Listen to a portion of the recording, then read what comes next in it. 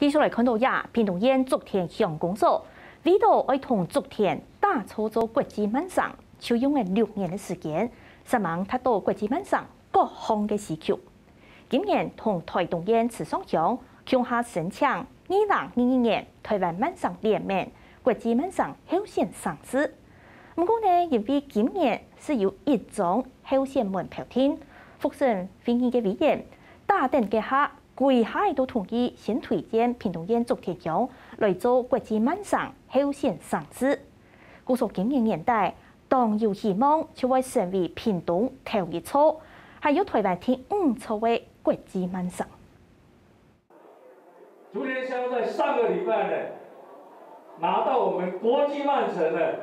得一张门票。竹田乡总体六对年升旗典礼，欢喜的向竹田乡民报告，今年台湾唯一张满上门票由竹田乡得到。也在为国感谢所有的乡亲啊，公所同意，还有我哋特殊的一道太好啊，将我哋竹田乡呢啊，今年係唯一通过的啊，推荐到国际漫上。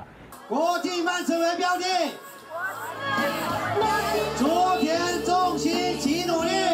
在国际漫上台湾联盟主席的见证之下，竹田乡先是爱进入国际漫上，也经验积极打造强年分享的环境，又以教育的发展同老年福利的完善来符合国际漫上的八大公约、七十二项的指标。虽然拿到入门票以后，还有一段路要行。系咧，透过继续来下乡，甚至去到学校落实落实要提一个基层地位。等所有的呃乡亲、所有的小朋友、小朋友，都可以抵得国际漫上很麻烦。我哋经过六年，六年来真是冇很简单。我哋第一个时间抵得，我哋拿到有嘅啊门票以后呢，真是幸福。以后感谢大家嘅听数，我哋还有一段路要行。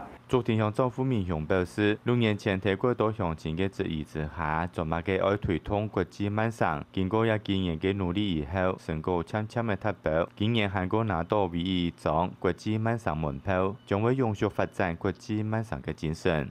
客家新闻潘胜旺评论报道。